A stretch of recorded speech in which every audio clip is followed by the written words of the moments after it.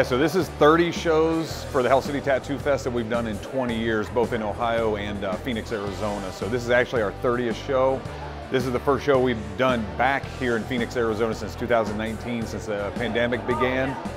Last year when we were here, the last year that we were here, 2019, we had a record attendance, record participation with everything, and it's Friday right now at Hell City, and we're having a great crowd already, and I think people are really happy to have the Hell City Tattoo Fest back here in Phoenix. Yeah. Well, yeah, so I did my first tattoo when I was 13 years old, believe it or not. Uh, me and a bunch of my punk rock skateboard friends, we uh, found mom's sewing needle and thread, and found some India ink at the local art store, and were little rebels to begin with, so we actually started tattooing ourselves when we were 13 years old, just little hand poke stuff on our ankles.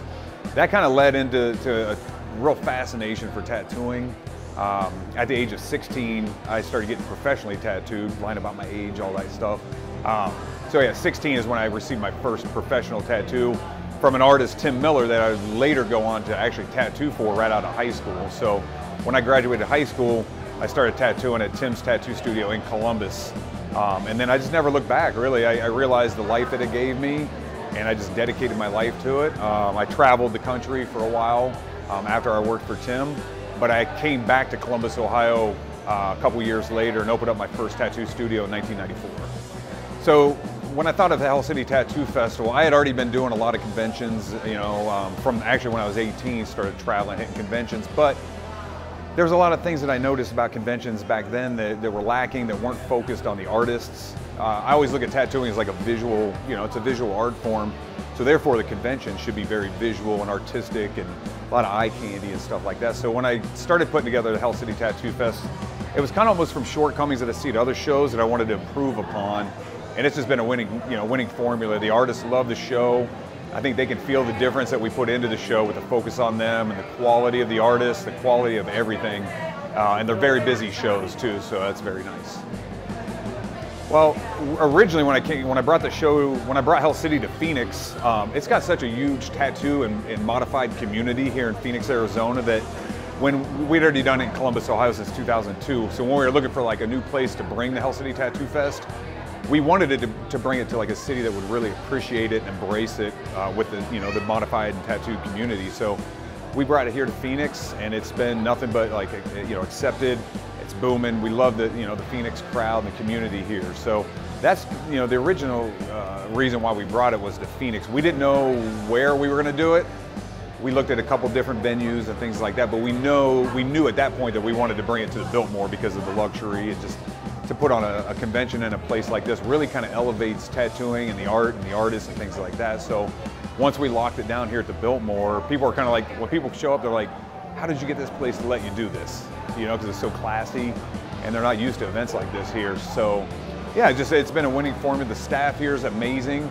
And over the years, we've noticed them lightening up a little bit. We notice people that work here now able to show their tattoos. So, you know, with with the quality of the show also shows you know, that, that we are professionals, we're good people, we're not going to, you know, raise a ruckus. And the Biltmore's really embraced us. And I think it's also changed the, their view of how to run their business as well and be a little more alternative and accepting of, of tattoos. So that's, that's one of the big questions I get from a lot of people where it's kind of like, how do you do so much? You know, and it's not just me, it's my team of everybody that works with the Hell City Tattoo Fest. And, you know, that's, that's the winning formula for me is is a combination of, of my work, my team's work, and everything like that. Yeah, getting into the industry is really hard. Even getting an apprenticeship is very difficult. You know, nowadays there's a lot of more studios and stuff like that. But advice for younger people getting into tattooing or like going to conventions and things like that. You know, don't don't hold back. Let yourself, you know, speak to the artists and, and really get to know people. Look at the portfolios. Take time at people's booths so that the artists see you taking time as well, and immerse yourself. If you have tattoos that you've done, put them on the stage in a competition. You never, you know, you never know. Participate, be a part of it. If there's seminars, take the seminars. That's how you're going to learn. You know, you got to educate to dominate, is what they say. So, taking the seminars, participating, meeting the artists, be at that main stage, and really be a part of the conventions and the industry in general. So yeah, the rumors are somewhat true about this being the last Hell City Tattoo Fest we're doing here in Phoenix, Arizona. I originally made that decision when the uh, pandemic first hit. We had our first show in Ohio canceled completely, like months right before we were getting ready to do it. So through the pandemic, as a convention promoter, we all felt pretty helpless, you know, and hopeless that conventions were going to make even a comeback. You know, we all lost a lot of money when our shows got canceled and it just seemed like there was no end in sight for you know bringing back conventions or indoor gatherings at that point. So me as a promoter, when that was going on, I was like, you know what? I've had an amazing time. I've somewhat changed the tattoo industry with conventions.